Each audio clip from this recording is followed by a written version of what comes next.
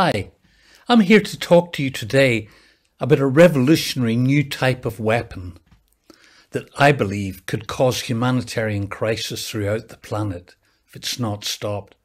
And we have enough of those already, I believe.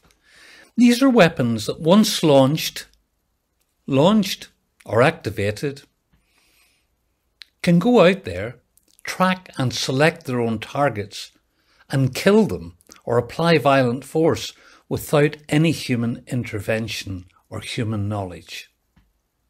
Now imagine that. I'm talking about a machine that's been delegated with the decision about human life. It has no moral agency.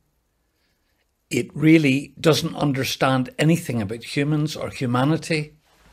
No empathy, no sympathy, and certainly no moral responsibility to do the right thing. Now, I'm not talking here about some sort of fancy sci fi Terminator. I'm told these look more or less like conventional tanks, fighter planes, fighter jet fighters, ships, submarines, and small drones armed. And they originated really from when the US um, all their forces in the early 2000s began talking about autonomy as a way of restoring their military advantage over everyone else. But of course, immediately there was a new arms race beginning with the US, Russia, China, Israel, Turkey, South Korea, Australia, and the UK, among others, really hell bent on trying to develop these as quickly as they can. And I believe they've been trialled in Syria, according to a UN recent UN report. Now, when I first heard about these in 2007, my biggest concern as an AI and robotics professor was technical. I had run big robotics labs, AI labs, machine learning for many years and had done lots of large scale museum exhibits, including, I must say, in 2002, developing some autonomous drones. But I was really shocked because I could not see at the time how these could possibly, how anybody could guarantee compliance with international humanitarian law, the laws of war. I mean, how can you make these machines discriminate between combatants and non combatants? I thought, these guys are crazy. How can machine make qualitative decisions? How can it proceduralize qualitative decisions into an algorithm? Well, you can't. How could it make proportionality decisions? How could it take precautions about the appropriateness of targets? I thought this was just, you know, some sort of madness. But I wasn't the only scientist who thought that. In the last couple of years, more than 5,000 AI researchers, including the leaders in the field and other scientists, have written to the UN and big AI companies saying these are not fit for purpose. AI is not good for war. It cannot be trusted in that sort of way, and it's quite unpredictable. That to me alone should make it, you know, show that it doesn't comply with the laws of war. But unfortunately, for those really rushing to develop them, it fell on selectively deaf ears. Now, since we started the campaign to stop killer robots in 2013, We've been arguing the case at the CCW, but military thoughts have been evolving. Now the big thing is force multiplication.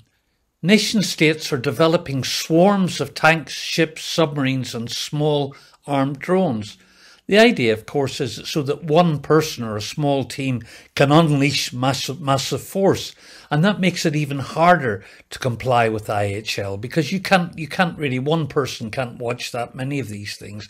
They're talking about using hundreds or thousands of them. Another argument has been that human decision making is too slow for the for current conflict. Well, that can't be that can't be right, can it? So it's getting so fast that you want to make it faster by developing high speed, machine speed attacks and decisions. And then having counter weapons that are even faster and so on. So that eventually you're going to have weapons that are going at such high speed that you can't stop them. And you wouldn't be able to stop them if they clashed with another swarm because the people who stopped them would lose. So, what is this going to do for global security? Imagine the accidental wars that could be created. And it would also be much easier to go to war if you're not putting your forces out there. Now, after eight years at the CCW, there's beginning, we're beginning to see a large consensus emerging about the importance of some form of human control. Though some are pushing that they don't even like hum, the word human control, like the US. But 35 countries, including China, are behind our call for a ban now, and that number is seen as growing.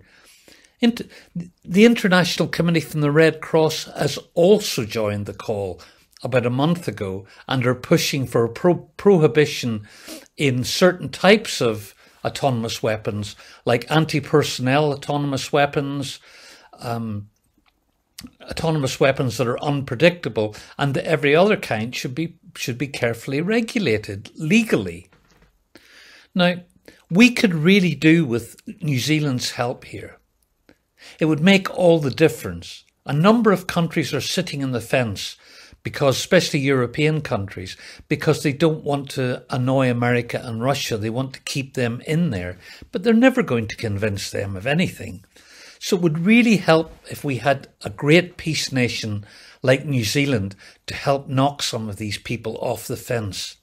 I believe that with your help, we could rid the planet of these morally reprehensible automated killers. Thank you for listening.